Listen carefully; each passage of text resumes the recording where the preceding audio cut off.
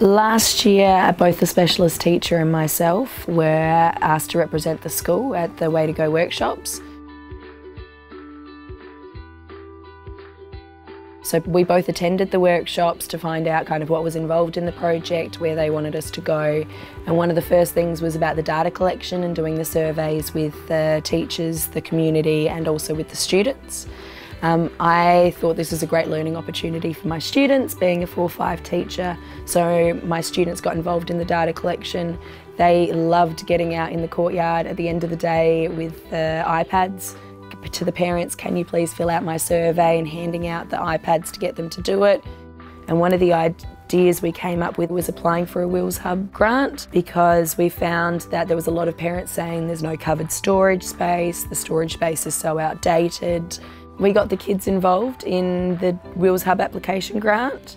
So measurement was an area we had to cover in maths. Uh, so my students got out and they tried to examine from an engineering perspective where might could be good places in the school for us to build this. And they would measure up spaces and how many bike racks could we fit here. So Ms Ribbett told us about how we were getting a new Wheels hub and she told us to go out and measure the space. After we had measured the space, we looked on this website that sold bike and scooter racks and this we had to look at their weight, length, width and height to see if they fit the space. They turned out to fit, so we had to construct them. I think this was a good idea because it was sitting there and it enthused people to ride to school more, which made them more active and they would, it would be more fun.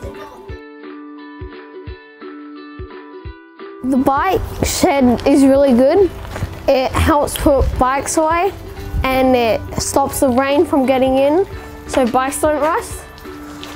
It's got more space and it's even got a scooter rack and that means people who like riding scooters can ride their scooters and it's just a safe place to put your bike.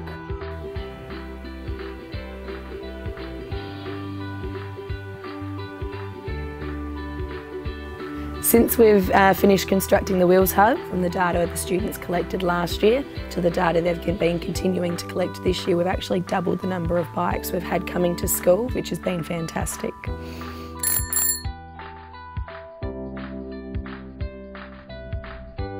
We've just ridden to school and dropped our bikes off in the bike shop over there for Active Travel Day. And for Active Travel Day, it encourages people to ride to school because you get prizes for it.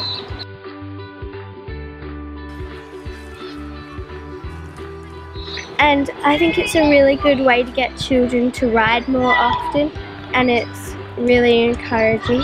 And I rode today with my family and my sister and brother.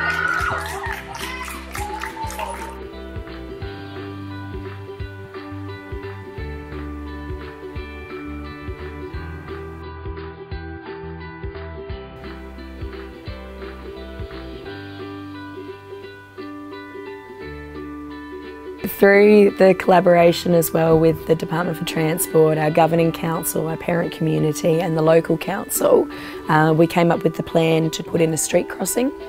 It's only been in for five weeks now, but we've already seen an increase in the number of students using the crossing and uh, it's really great to see how enthusiastic they are about coming into school and crossing at those, that location.